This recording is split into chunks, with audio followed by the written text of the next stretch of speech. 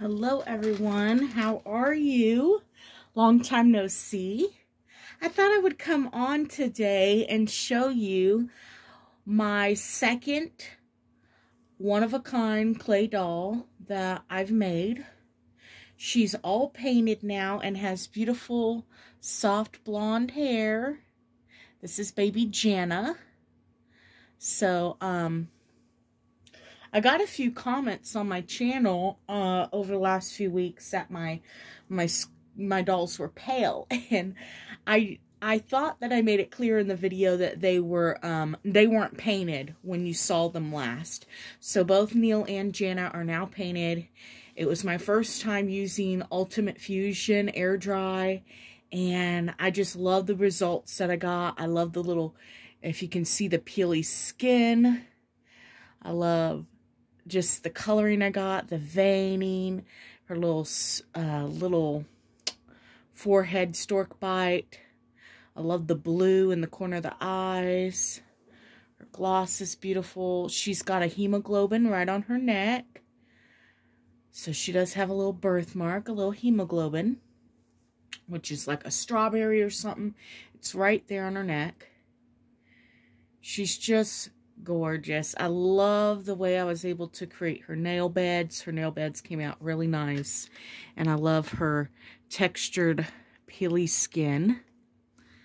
And, uh, yeah, she's just really cute. Um, she's a one-fourth limb doll, as you can see. And, uh, I had a lot of fun making her. I actually really like the one-fourth limb dolls. She's got her Spelman Sweeties belly button and of course, she's got her Ephesians 3.20 heart that gives all glory to God who worketh within us. So, um, God gives us all talents, and I'm just very blessed and grateful that this is one of mine. I was very intimidated to start. Um, I always felt like a nudge in my heart from God to just to just start and give it a go, and I just felt really intimidated to try. I didn't think, I, you know, I never even took art in high school. So I, I was just um, doubting myself, a lot of self-doubt, a lot of intimidation. And to my surprise, as I've started, um, I feel equipped. And I don't know how I'm getting the results I'm getting. It's just, it's in me and I'm just grateful. So, uh, having a lot of fun with it. A lot of fun. Yeah. Sweet girl, sweet baby Jana. We're going to dress her today because I want to do um, a photo shoot for Spillman Sweeties on um, Facebook and on Instagram for her. But I need, obviously, to clothe her. So I got two options here that I want to try. Yeah. Sweetie pie. And this is my first time dressing her after painting her. So um, this is my first option. So white looks good on babies. It really brings out their coloring. And it's got a embroidery bunny and squirrel. And then these cute floral pants. Um, if I don't change it on her now, I definitely will be changing her into it. And then I've got this H&M set with bunnies and chicks on it. And I really like how it brings out her blonde hair. And I'd pair it with a cardigan. Um, I don't know which one I want to do. I just keep uh, visioning her in this uh, yellow ones. So that's what I'm going to go with, I think.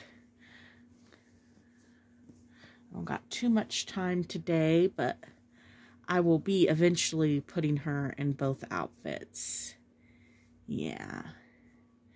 Clay, uh, treat it like porcelain. You know, you don't want to be clacking the pieces together too hard or anything like that.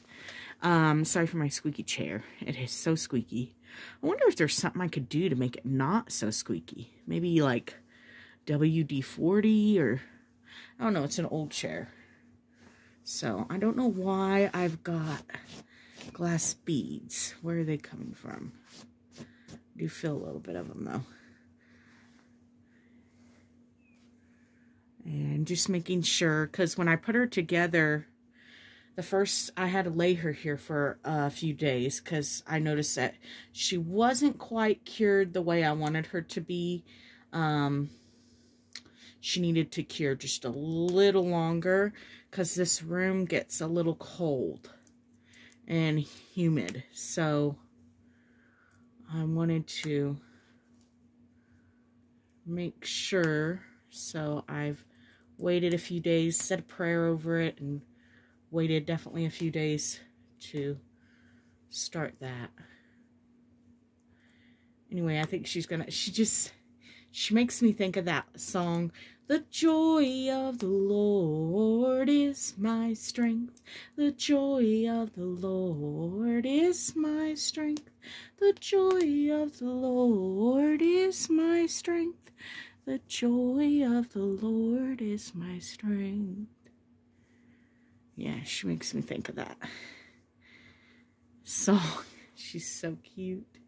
She's just so precious. Such a precious baby. It's just, it's an incredible feeling to just make my own doll.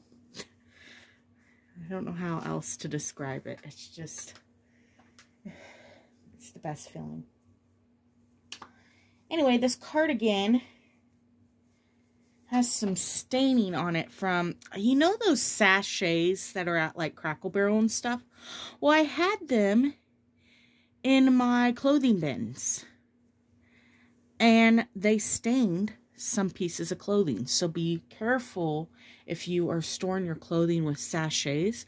I love like the baby and the honey scented sachets. I like my clothes to smell like that. And unfortunately, caused staining on some of my pieces of clothing. So you really want to watch that. Anyway, I'm going to pick her up to put the other arm in her sleeve off camera. I'd rather be off camera and more gentle in my arms than on camera and you know, I'm just, I'm nervous because all this paint work, I just want to make sure I'm doing it correctly. Okay. That looks beautiful, Miss Janet girl. Oh, and your hair got all wild. Her hair is just glued on. And I was going to order care. I, When I was sculpting her little smile, I definitely felt like she was a little blondie. And, um, but I was going to have to order hair, right? Well, when I was going through my stuff, I had this little baggie in a tote. And I looked in there and there was a little bag of this little soft, soft blonde hair. Like it was just placed there just for her. And it suits her so perfectly. And I was even able to do, I didn't know that this, it, her hair would do that, but it did. And I'm so glad because she looks so cute with just a little ponytail right there. Oh, and I love the ears and the hair uh, going around the ears here. That looks so cute. She's just so precious. She's just my sweet baby. And I can't wait to photograph her. And uh, I feel emotional when I see my work all come together like this. Because if you don't know, when you sculpt, it just starts off as a aluminum foil. And you gotta work it and everything. And I know with Jana, I sculpted her during a snowstorm. And um, my hands were really dry and the foil cut them all up. So, you know, it just, just to start off with a little ball of foil and then be able to do this, it's just emotional to see it all get dressed and come together and it just feels very, uh, um, so rewarding to my soul that uh, releasing to see uh, something that uh, a, a, dream that the Lord gave me, a vision in my head, and to see it all come together. It's just really rewarding and feels so blessed to be able to do that. And I just love the way she turned out. And I love that she can pop her little hand up here and yeah. She's just so cute. She's just so cute. Uh, I hope you enjoyed seeing her today. I also went to a women's retreat. That's why I wasn't here for Dolly's Sunday school and everything. I went to a Christian's women's retreat. I learned a lot. God revealed a lot to me on that retreat. And I'll let you know because he revealed to me something about this big debate too in the uh, community. Um, and I can't wait to share that with you. And I want to, uh, maybe on Dolly's Sunday School or maybe in a few other videos. It will be in the title because I want to talk about that because it's important that I address something, mistake that I've made. Um, so I want to do that in another video. But while I was at this retreat, there was different vendors there, women supporting women, um, different women, you know, uh, with their books that they've done or custom jewelry they make. Well, one of the ladies there does children's books. She doesn't write them, but she uh, runs an online children's book um, store. And she had a bunch there for sale. And um, when I was at the nursing home the last time, I realized that the residents, when they would hold the dolls for cuddle therapy, they really wanted to read to them. They would find any little bit of paper or something to read to them. So I got a children's book. This was the only one at the table. And it's like, it says, don't tickle the elephant. And it's a touch and feel book, right? So it's touch and feel book one thing that drew me to it was that the words are nice and big so that the elderly can read them. It's a touch and feel, so it has that interactive aspect. But it also turns on and all the animals, when you go to touch them, to feel them, they make noise. So that's really, I think this is going to be a real big hit at the nursing home when we take it this week. I like to go weekly. Um, they've asked me to come weekly, so um, it's really cool that I got this book for them. And another neat thing about it is that elephants are associated with memory, right? And I primarily take the dolls to the memory care unit. Now, when I take them, I'm not saying that I'm leaving my dolls there. No, I take them weekly for cuddle therapy um, just a way to share my collection and uh, just I really love it. And um, I primarily go to the memory care unit because those are the ones that are uh, benefiting it the most. But I recently started going down all the halls and they all love it because they know that they're not real, but they, they love that. They love to be able to cuddle a baby and see the art in our dolls and everything. They really love that. Um, but with the memory care unit, these are people, um, you know, that are prisoners of their mind. They really don't, some of them don't remember their family. They don't remember their name. But when they hold these babies, they start to remember when their babies were little. Or they might think that this is their baby. It takes them back to those memories and they light up, they come to life. Um, they people that can't remember, you know, their names will sing hymns over these dolls. That's so powerful. That is such God is definitely working through that. Um, it is so cool to be able to witness. Um, I there was this really cute lady that came around the corner and she just lit up and said the grandkids came you know, she thought her grandbabies all came over. And so it's just it's if if you if it's something that you feel called to do, I definitely encourage you to reach out to your local nursing homes and act, ask for the activity director. Explain that you collect realistic dolls and that you would like to bring them in and uh, see if it's something that the residents would enjoy. And it is it has become my favorite day of the week.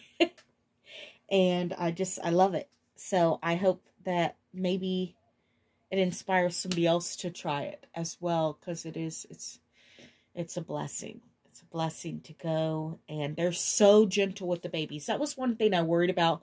I brought some of my uh, non-expensive dolls at first and uh just to see like how gentle they would be and everything and they are extremely gentle with the babies um because they believe that it is a real baby. So, you know, there's no. I mean, when I went to go turn one of the doll's heads so that it was looking at the resident, I mean, she just about uh chewed me out for that because how I shouldn't be touching that baby's neck like that. So they are so gentle. I've even brought one of my silicones in and yeah, a lot of times they nap with the babies. Like, it's like a cute weighted blanket. anyway, I just hope that um, you all are having a wonderful week. I haven't been on. I've been, I'm still unpacking from my trip. And just, yeah, that's just what I'm doing. I'm busy. So I come on when I can come on. And I hope to come on for Dolly Sunday School this Sunday talk a little bit about what I learned at this woman's retreat. So if you're interested, uh, that's I'll talk a little bit about that on Sunday.